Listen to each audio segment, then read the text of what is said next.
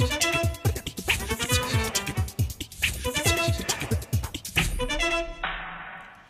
Bonjour et bienvenue dans l'entretien de France 24. Il y a quelques jours, en France paraissait le livre blanc de la défense et de la sécurité nationale.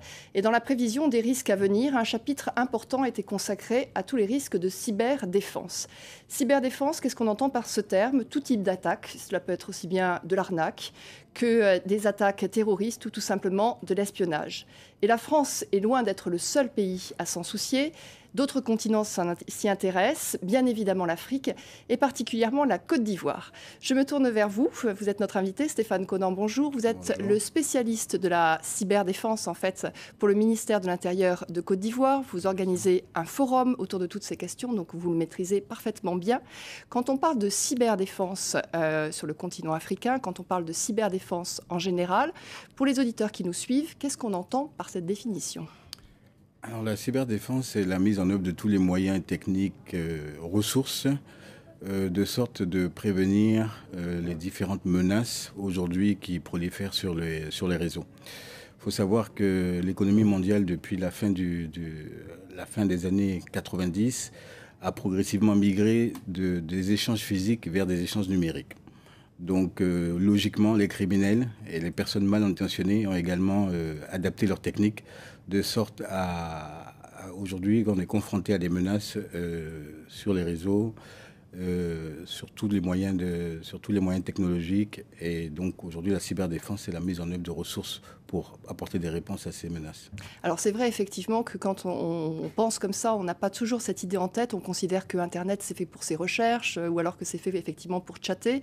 Et on oublie effectivement que euh, aussi bien des voyous que des États, euh, que des mafias peuvent vouloir en fait tout simplement utiliser ces, ces moyens-là pour, pour attaquer les États aujourd'hui. Comment des États réagissent justement le fait que la Côte d'Ivoire est un spécialiste de cyberdéfense et que vous allez organiser un forum, c'est bien la preuve que euh, chaque État réfléchit très sérieusement à ces questions.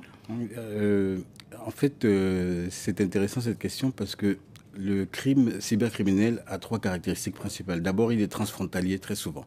Le délit se passe dans un pays, la victime dans un autre. Ensuite, ça se passe dans un temps extrêmement rapide. Et enfin, la preuve du délit est numérique. Donc, tous ces éléments nouveaux ont apporté de nouveaux challenges pour les, les responsables de la sécurité et de la défense des États. La réponse ne peut être que coordonnée. Euh, la réponse ne réside pas en Côte d'Ivoire, ni en France, ni aux États-Unis. Les réponses aujourd'hui qui sont pensées pour répondre à ces menaces sont coordonnées entre États. Alors, on verra après le, volet effectivement justice qui, va avec l'ensemble, mais déjà parlons simple avec des exemples concrets. On va aller tout simplement sur des, chapitres. Si on parle de cybercriminalité dans votre pays, par exemple, vous m'expliquez sur les questions de pédophilie, sur tout ce genre de choses-là, qu'est-ce que l'on peut déceler? À quoi est-ce que l'on s'attelle? La pédophilie est encore marginale en Côte d'Ivoire. Aujourd'hui, les crimes sont euh, surtout motivés par des raisons économiques. Donc, euh, il y a environ 5 à sept délits principaux qui sont l'arnaque à la loterie, euh, l'arnaque, euh, le love chat, donc l'arnaque au, sentiment, euh, il y a spoliation de compte email, il y a aussi le, chantage à la vidéo qui est en très forte hausse. Donc toute une série de délits qui sont aujourd'hui clairement identifiés et dont les motivations sont principalement économiques pour ce qui concerne la Côte d'Ivoire. Est-ce que vous allez faire des campagnes de publicité pour prévenir les gens? J'y pense juste parce que, par exemple, avoir une arnaque sur son compte email et d'un seul coup être sollicité pour donner de l'argent, est-ce qu'il faut quand même être un peu informé pour se dire, tiens, il peut y avoir une arnaque derrière? Effectivement, la sensibilisation, est, un volet très important de la, réponse.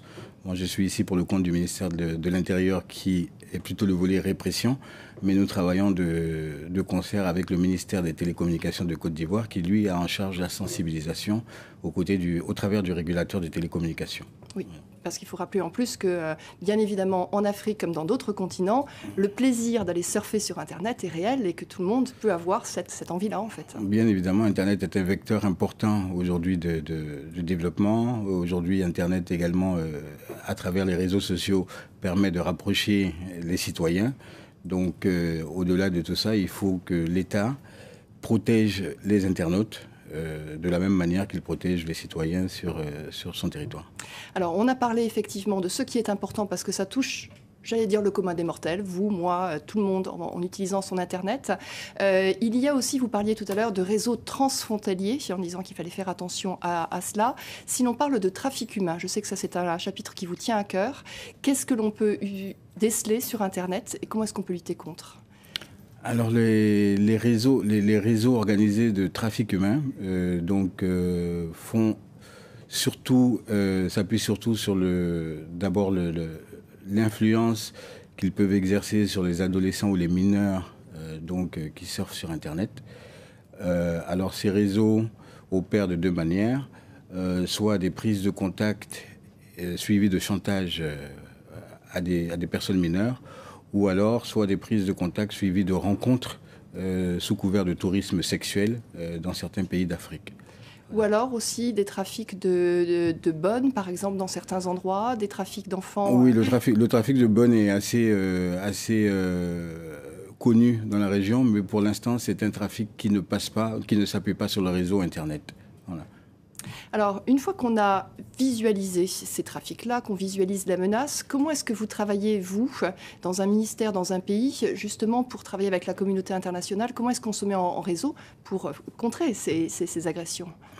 Il faut savoir qu'aujourd'hui, la Côte d'Ivoire, depuis la fin de la crise, a renoué euh, la coopération dans tous les domaines, y compris dans le domaine sécuritaire. Alors, la première chose qui a été faite, c'était d'abord de renforcer les capacités en termes de ressources humaines. Pour répondre à la cybercriminalité, il faut d'abord comprendre euh, le fonctionnement des réseaux, comprendre euh, le fonctionnement des applications. Donc, chose que nous avons faite avec le concours donc, de, pays amis, la France, la Suisse, la Corée du Sud notamment, qui nous apportent un appui important. Donc, au-delà de ça, il fallait également euh, identifier les différents acteurs de la chaîne cybercriminelle, que ce soit les fournisseurs de services, les maisons de transfert d'argent, parce que tout délit cybercriminel se conclut, en tout cas pour la Côte d'Ivoire, par une transaction financière. Euh, les maisons de téléphonie mobile. Donc tous ces acteurs euh, ont été mis ensemble et continuent de discuter pour apporter une réponse euh, globale. Parce qu'encore une fois, c'est un délit transfrontalier qui touche beaucoup de secteurs d'activité où une réponse, une réponse singulière ne peut pas, ne peut pas être significative. Et alors, l'autre partie de la question, c'est quelle peut être la part de la justice? Parce que, comme vous dites, on voit souvent les flux. Maintenant, il faut y avoir une preuve numérique. Et on sait que la preuve numérique, elle est pas toujours évidente à avoir. Et est-ce que la justice va se mettre aussi à l'unisson en fait de cette nouvelle criminalité pour sanctionner? Mm, Pour ce qui est de la Côte d'Ivoire, deux, nouvelles lois ont été adoptées euh, récemment, donc euh, justement pour mettre la justice au niveau et apporter des réponses euh, pénales et appropriées. Donc une loi sur la cybercriminalité, une loi sur la protection des données personnelles ont été adoptées en Côte d'Ivoire avec des peines très sévères. Aujourd'hui, il reste à, former les juges, en tout cas à les mettre au diapason, et de sorte qu'ils comprennent la nature des délits, parce que très souvent c'est le problème. Et je pense que les choses sont en train d'être faites dans le bon sens. Alors c'est vrai dans de nombreux États, hein, effectivement, de, tenir au courant euh, tous les organes aujourd'hui étatiques de ces nouvelles, de ces nouvelles menaces. Et c'est aussi votre, votre rôle d'expert hein, partout. On a parlé en fait donc de la cybercriminalité, on a parlé effectivement de, de tous ces risques-là. Un dernier mot peut-être sur tout ce qui va être la cyberdéfense, si on est plus pointu, si on est effectivement sur le terrorisme, si on est sur les organisations qu'il peut y avoir. Quelles sont les menaces que vous pouvez voir? Quelles sont, Comment est-ce qu'on peut traquer grâce à, la, grâce à Internet? Alors aujourd'hui, il y a en Afrique de l'Ouest en tout cas une initiative euh, intéressante qui est en train d'être mise en œuvre de concert avec euh, certains prestataires de services qui seront d'ailleurs présents au salon. Euh, il s'agit de, pouvoir mettre des dispositifs de sorte de, procéder à la rétention des données. On se rappelle des attentats malheureux de Boston on a pu rapidement retrouver les suspects grâce aux images qui avaient été stockées et donc retenues. Il s'agit de faire la même chose tout simplement pour ce qui est des données qui, circulent sur le réseau Internet. Aujourd'hui, certains dispositifs permettent de retenir les données de sorte à revenir sur certains faits et retrouver des traces en cas de délit, tout en protégeant bien sûr les droits et libertés des citoyens. Un dernier mot, parce qu'on voit aujourd'hui que l'Afrique, l'Afrique de l'Ouest, entre autres, est exposée avec euh, tout ce que l'on voit euh, euh, au Mali, par exemple, avec, avec Al-Qaïda. On voit aussi que économiquement, l'Afrique est de plus en plus exposée avec les échanges qu'il peut y avoir avec la Chine, avec des, plein de pays occidentaux. Ça veut dire que les, les cybermenaces sont de plus en plus présentes sur votre continent?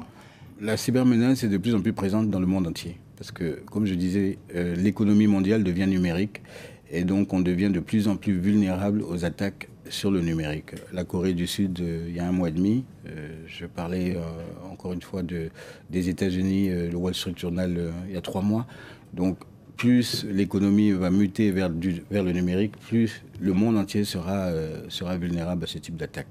Donc j'insiste vraiment sur cet aspect global des choses. Parce que la réponse ne peut être que globale. Voilà, et absolument. il faut effectivement sensibiliser à ces attaques. Il y a un pays qui communique considérablement sur les attaques qu'elle reçoit, c'est la Chine, qui rappelle qu'en en fait, elle en a plus d'un million par an. Donc pour montrer en fait l'importance de ces, de ces cyberattaques. Merci beaucoup Stéphane Conan d'avoir participé à cet entretien. Merci. bonne suite de programme sur France 24.